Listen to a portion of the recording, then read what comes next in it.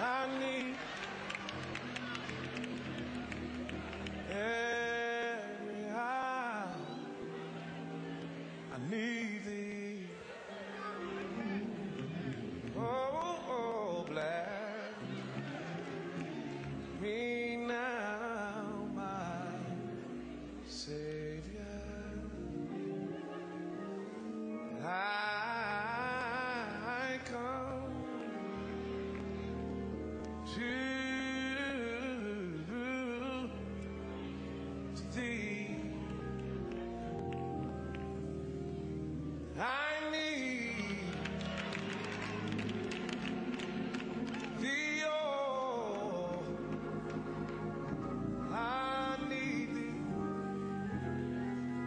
Somebody help me say, yeah.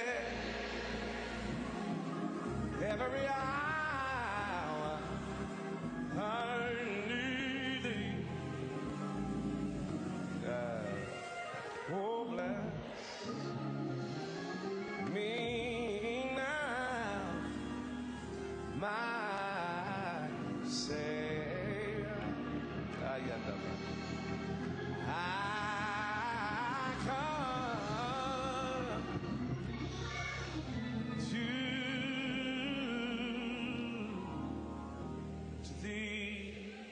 And in the tradition that I grew up in, everybody say, yeah.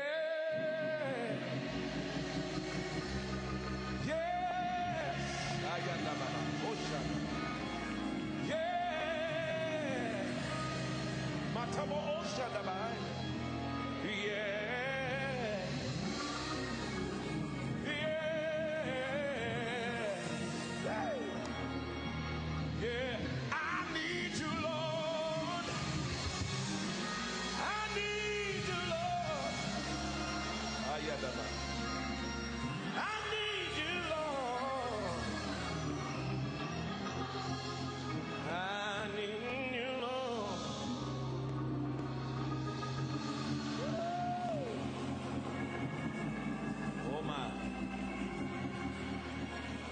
have 1 Corinthians 1, 1 Corinthians 2 and 1, hallelujah, indicate by shouting amen. And I, brethren, when I came to you, came not with excellency of speech or of wisdom, declaring unto you the testimony of God. For I determined not to know anything among you save Jesus Christ and Him crucified. Oh my. 1 Corinthians 4 and 10. We are fools. I don't mean to embarrass anybody. Uh, we are fools for Christ's sake. But ye are wise in Christ. We are weak, but ye are strong. Ye are honorable, but we are despised. And finally, uh, 1 Corinthians 1 and 18. For the preaching of the cross is to them that perish foolishness.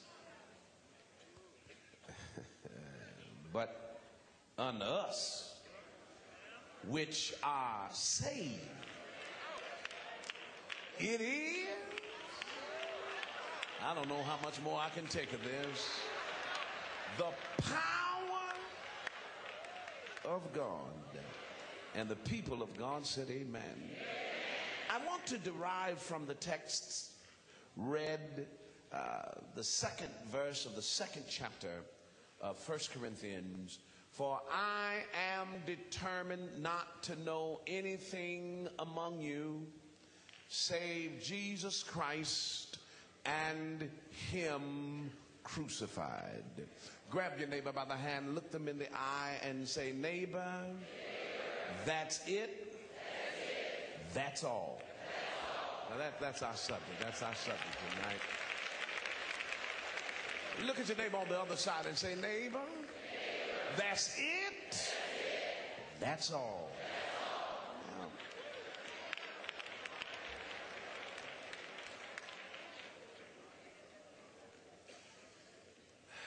Not to ignore the reason for this gathering,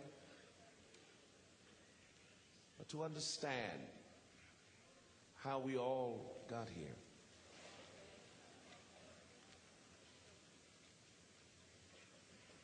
Two thousand and six, the fundamental truths of the Christian faith are under attack. This is, in and of itself, not a new fact, but it is for the fact that those who preach the gospel are holding it in suspicion. Oh my. I don't mean to offend anyone, but may come along with the territory. The enemy is after our faith. And let me tell you how he's after our faith. He's after our faith with doubt. Now that, that's not that's not new. Bishop Hawkins says he's ready for the simple, and I'm, I'm right there with you. It is not new, but what we do not understand is that there is the element of doubt that not only blocks what it is God is trying to do for you now, but it submits and blocks you from what God has promised you in your future. Now, let, let, let, me, say, let me say it like this Jesus told the disciples and was very curt, crass, and rude, even when he began to chide them for their unbelief. Because it is very bad to be a non believing believer.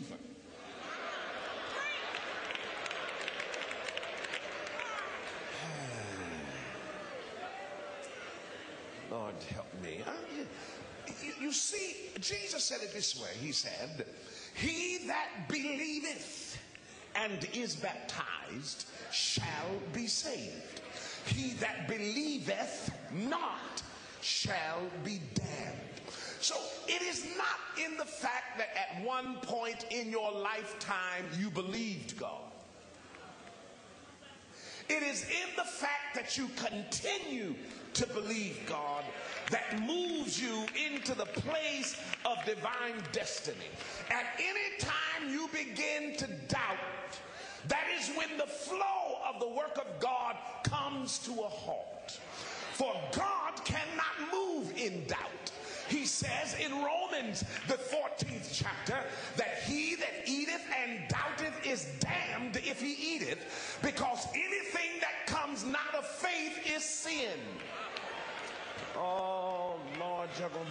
make me work harder than I had planned.